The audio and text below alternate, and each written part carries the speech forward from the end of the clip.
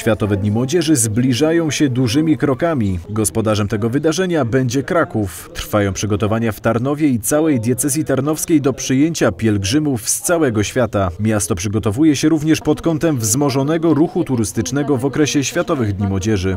Jesteśmy po pierwsze w stałym kontakcie z, ze wszystkimi organizatorami. E, Jesteśmy otwarci na e, różne sugestie, jak powinniśmy się jako zbiorowość zachować. Jesteśmy aktywni, jeśli chodzi o przygotowanie promocji, logistykę i e, to, co jest związane z bezpieczeństwem.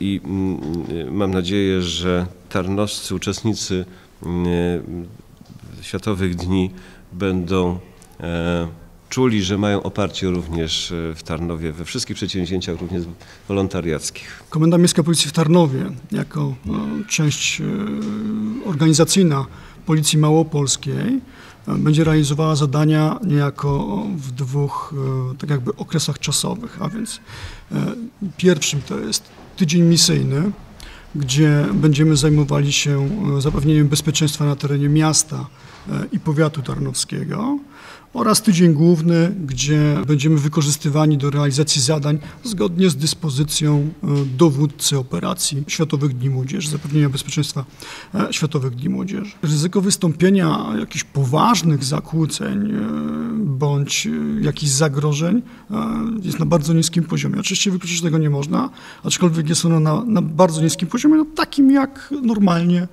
można by było powiedzieć dziś, dziś występuje. W najbliższą sobotę w okręgach diecezji tarnowskiej odbędzie się spotkanie Synaj. To wydarzenie, które ma przygotować diecezjalną młodzież na Światowe Dni Młodzieży. W niedzielnej części wszyscy spotkają się w Tarnowie. Na tym szlaku naszych przygotowań do dobrego przeżycia, e, owocnego przeżycia Światowych Dni Młodych i Tygodnia Misyjnego w naszej diecezji w lipcu e, są takie wydarzenia, którymi chcemy się e, razem, w których chcemy się integrować i też przygotowywać do, do, do tego wydarzenia i to są synaje. I spotykamy się e, przy okazji, te, tym razem przy okazji Niedzieli Palmowej, czyli Światowego Dnia Młodzieży w wymiarze decyzjalnym, tutaj w Tarnowie. E, To nasze spotkanie e, zostało pomyślane tak dwuetapowo. Pierwszy etap spotkania w okręgach. Młodzi organizują się, mają spotkanie w soboty, niektórzy w piątki, ale generalnie w soboty. To jest to pierwsza część przygotowująca do tego spotkania, które tutaj ma być w niedzielę, które się odbędzie w- od godziny 10. Mamy nadzieję, rozpocznie się to wszystko na, na rynku, że pogoda nam nie, tutaj nie spłata żadnego figla. Według szacunków organizatorów Kraków w czasie Światowych Dni Młodzieży odwiedzi około 2,5 miliona pielgrzymów z całego świata.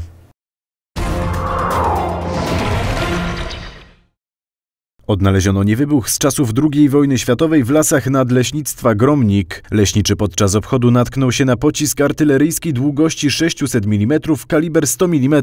Pocisk znajdował się w znacznej odległości od zabudowań mieszkalnych, dzięki czemu nie była konieczna ewakuacja. Na miejsce skierowano policjantów z grupy minersko-pirotechnicznej Komendy Miejskiej Policji w Tarnowie, którzy zabezpieczyli znalezisko. Patrol saperski Wojska Polskiego z Rzeszowa przewiózł pocisk do miejsca, w którym zostanie zneutralizowany. W związku z tym, że coraz częściej odnajdywane są pociski różnego rodzaju oraz kalibru, tarnowscy policjanci zwracają uwagę, aby samodzielnie nie próbować przenosić tego typu znalezisk. Jak najszybciej powiadomić dyżurnego, a miejsce oznaczyć do czasu przyjazdu patrolu.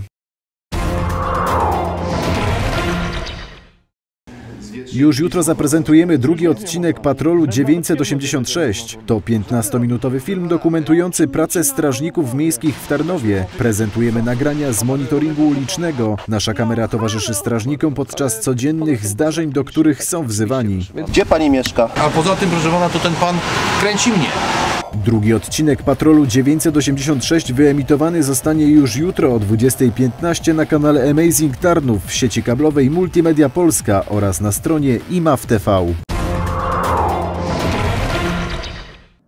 20 kwietnia odbędą się derby Tarnowa pomiędzy Unią a Tarnowią. Wokół organizacji meczu sporo jest jednak emocji i znaków zapytania. Wciąż nie wiadomo, gdzie rozegrane zostanie derbowe spotkanie i czy będą w nim uczestniczyć zwaśnione grupy kibiców obu drużyn. Według naszych ustaleń policja najprawdopodobniej nie wyda zgody na udział kibiców w przypadku rozgrywania meczu na stadionie Tarnowi. Obiekt jest niedostosowany do dzisiejszych wymogów bezpieczeństwa podczas imprez masowych podwyższonego ryzyka. Najbardziej prawdopodobnym miejscem rozegrania meczu wydaje się zatem kosztem stadionu Unitarnów. W tej kwestii wciąż nie osiągnięto jednak konsensusu i do sprawy będziemy wracać.